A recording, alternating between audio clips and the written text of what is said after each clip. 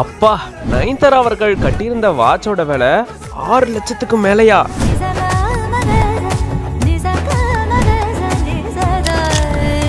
இதை கேட்ட உடனே தலையே சுத்துதுல அப்படின்ற மாதிரி. இப்போ நயன்தாரா அவர்கள் தன்னுடைய கையில கட்டியிருந்த வாட்ச் பத்தின போஸ்ட் தான் சோஷியல் மீடியால ட்ரெண்ட் ஆயிட்டு வருது.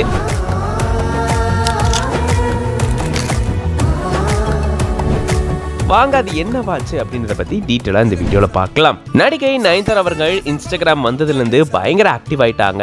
ரீசெண்டா ஒரு போட்டோ போட்டிருந்திருக்காங்க. அதுல பாத்தீங்கன்னா ஒன்னே ஒரு விஷயம் மட்டும் ரொம்ப பயங்கரமா தனியா தெரிஞ்சிருக்கு. அதுதான் அவங்க கையில கட்டியிருந்த ஒரு பிங்க் வாட்ச் அடடே வாட்ச் பார்க்கவே செம்மையா இருக்கே அப்படின்னு சொல்லி அந்த வாட்சை ஜூம் பண்ணி பார்த்தா அது பல லட்ச ரூபாய் மதிப்பிலான ரோலக்ஸ் வாட்ச் அப்படின்றது தெரிய வந்திருக்கு. எஸ் இப்போ இது சம்பந்தமான போஸ்ட் தான் சோஷியல் மீடியால ஷேர் ஆயிட்டு வருது.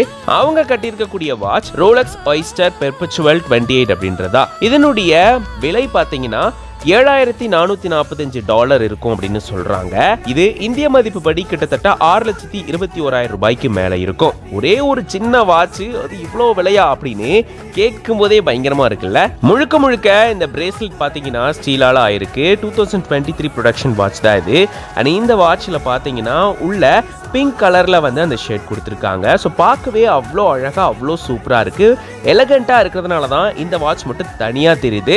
இது வந்து எஸ்பெஷலி ஃபார் விமன் அப்படின்னு சொல்கிறாங்க இப்படிப்பட்ட இந்த சூப்பரான வாட்ச் தான் நயன்தரா அவர்கள் கட்டியிருந்திருக்காங்க. இதை பற்றி நீங்கள் என்ன நினைக்கிறீங்க அப்படின்றத கமெண்ட்ஸில் சொல்லுங்கள்